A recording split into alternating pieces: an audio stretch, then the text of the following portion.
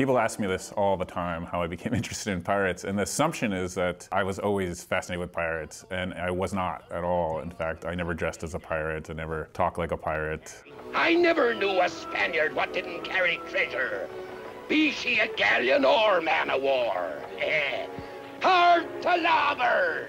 Larboard, aye, aye! Clear them lashings from the guns and prepare for battle. Aye, Scaly! I actually went to grad school at Harvard to study fatherhood in early America. And so I was in my third year in grad school and I wrote this paper that I thought was going to be a chapter of the dissertation. I was pretty happy with what I had. Uh, and it presented it to a group of faculty, including my advisor and a number of other uh, graduate students. Uh, and they said, you know, the last four pages are the best part of this this chapter. You know, the pirates are the most interesting part. And I said, wow, it's a fun way of ending the story, but it is not the main part of the story. So I said, okay, what I'm going to do is give you a month. And I'm going to spend a month in the archives and I'm going to read government records, uh, trial records, letters from uh, governors back to uh, England. Uh, and if it seems significant, then I'll study it. Otherwise, I'm going back to my old topic. And so I spent a, about a month, and pirates were everywhere, everywhere. And they were living in Newport, Rhode Island in particular, and Charleston, South Carolina. Uh, and they were not at all the pirates we thought they were. They were swashbuckling for a moment. They would go into the Indian Ocean and attack Muslim pilgrimage vessels. Uh, but they would arrive in Newport and buy land and become customs collectors, or they'd marry local women. And so I became really fascinated with the fact that no one had written about these pirates who are not necessarily the way we imagine pirates. They were people who committed piracy once in their lives and moved on uh, to do other things. And so the book that I ended up writing that came out of my dissertation uh, is a book about the relationship of these pirates with the communities that welcome them on land. Uh, and they became integrated with, with the community. And since then, I've been com uh, completely wrapped and fascinated with pirates, but it was something that came out of historical serendipity so when I first arrived at UCSD as a junior faculty member, I was preparing to teach my Golden Age of Piracy class, and I was uh, initially, I met with Lynda Claassen, who's the Director of Special Collections at UCSD. And she approached me to say, you know, we have one of the strongest collections on Pacific voyages in the entire world, and in fact, one of the strongest piracy collections in the entire world. And so before I started teaching the class, I went and explored the, the collection and found that we did indeed have almost every significantly printed text from the 17th, 18th century, the period that we would call the Golden Age. We owned a copy, typically a first edition of everything that, was, that came from that period. Well, the Hill collection is well known because of its scope. It very much focuses on the Pacific, largely, and a particular period, pre 1850, when people were still discovering half of the world, as it were. And UCSD gets some of its reputation um, in the world of collectors and collecting because we are active collectors in that area. It's an interesting um, little tidbit because the universe I live in, the rare rare book and special collection world, there's a universe of dealers, people who deal in rare books, manuscripts, etc. And there's always a little phrase, you know, they want you to know how rare something is. Um, for the voyage material, it's always not in Hill, which is like an alert, not just to me, because I find that a very vexing thing. It's like, oh no, do we have enough money to buy this? Um, but that's something that people around the world are very, very familiar with. It's not a journal. It's more of a very um, descriptive log, and it's very specific. One of the key aspects of the Age of Sail course has been having students read original logbooks, and logbooks uh, are the sort of central uh, uh, information storehouse of a ship. Uh, they're essential to recording every single thing that happens on a ship, wind direction changes, deaths on a ship, encounters with other ships at sea, experiences in port. Uh, and a lot of them include poems and songs, and, and a lot of them have watercolor paintings and things. I tell students all the time that history is not necessarily only what happened in the past, it's also the way we construct a story or a narrative about the past based on the sources we have available to us. So it's essential to understand that history, history is a construct. It's something we build and we create and we fight over. And if we didn't fight over it, historians wouldn't have jobs. So we battle and, and we debate over these things. And to have a student really look at an original document and try to construct their own narrative. what, what is it about this? One of the things uh, historians, particularly early modern historians, really struggle with is getting students to understand the reality of what the world was like for someone living in the early modern period. We're also going to uh, be doing different types of stations throughout the, throughout the ship where we talk about you know, whether it's uh, this sail anatomy or, or, or, what, what different types of ships were used for during you know, different time periods and how that rig would have looked. In all my classes that I teach, I always say that the one attribute that is most significant to a successful historian is empathy.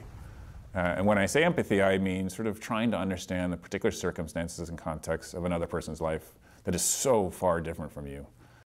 For my work, I have people empathize with some of the craziest people you can possibly imagine anarchistic maniacs who put matchsticks in their beards so that smoking when they board ships. And these are people that you couldn't imagine trying to understand and uh, and empathize with. And that's what I try to do on a daily basis: is grasp why would I do? Why would they do that thing? What what what is it that they were born and raised understanding that makes it okay for them to do that?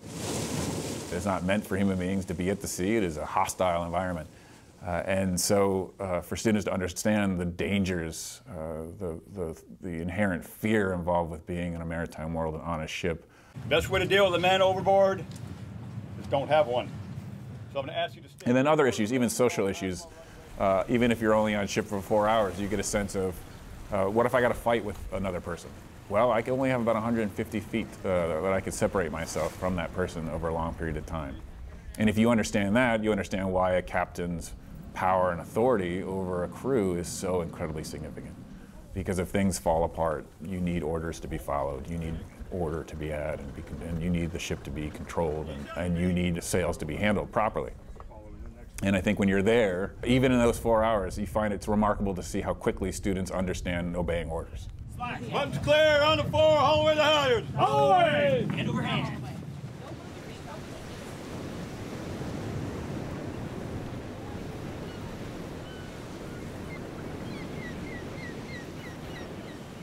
This year, beginning in February and ending in September, the Natural History Museum is hosting a large traveling exhibit called Real Pirates. It's about a pirate ship that was discovered in the 1980s uh, by a man named Barry Clifford.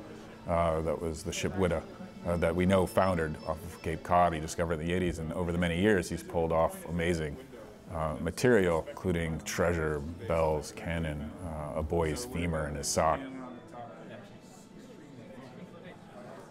One of the interesting problems for the museum to some extent was that it didn't fit well with the, with the broad mission of the Natural History Museum, which of course is to describe natural history, uh, fossils, plants, animals, uh, and the natural world around them, in particular the local San Diego. And I said, well, that's interesting because it does actually fit quite well, uh, because uh, natural history as we know it today was in fact uh, the product in many respects of pirates. Pirates are really the original citizen scientists. They were not trained, they're not noblemen, aristocrats. They weren't even members of the Royal Society of London, one of the first scientific societies still in existence today. Uh, but they saw everything that people in those societies could not see or had no opportunity to see. And we created this local component uh, to uh, describe essentially the role pirates played in the rise of natural history primarily using the books that I use for my Golden Age of Piracy class, uh, the books that students will actually read the originals. One of the things that my students over the years of teaching my pirates class found sort of shocking and strange was I would have them read original documents from the 17th and 18th century about piracy. Uh, and they always found it shocking that the majority of what they were reading were about descriptions of plants and animals, and only a small percentage was about swashbuckling piracy at sea you could read a 300 page document and have 20 pages involving violence and the rest describing flamingos and hummingbirds and seals. We're delighted when museums, galleries, we do this quite often, not always just for the institutions here in town, but if they can use our materials in an exhibition that they're doing, it's a wonderful way to have a partnership between the university and another institution in town. It makes our materials far more widely available to an audience that wouldn't necessarily come up to UCSD to see something.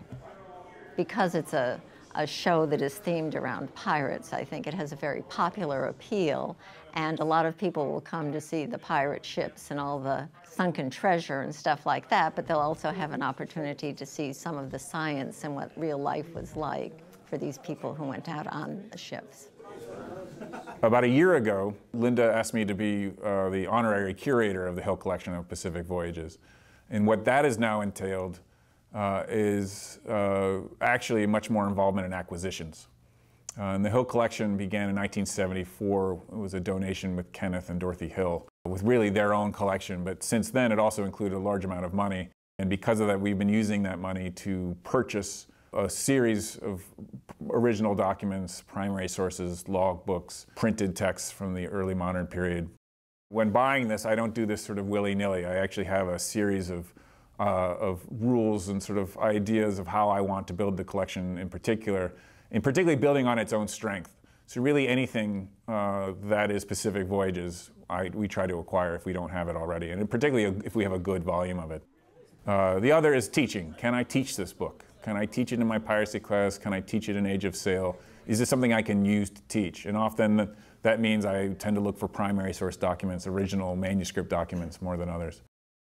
And the important element of this is that it combines uh, the three elements that I think academics are really supposed to perform uh, in a university system, which is teaching, uh, the other is service, which is working with the community and, and, promoting the Hill Collection as not merely a collection for UCSD, but a collection for the community. And the other uh, is research. So people will come here from around the world to do research uh, on these documents. Uh, and it's an unusual and, and an amazing collection for that particular purpose.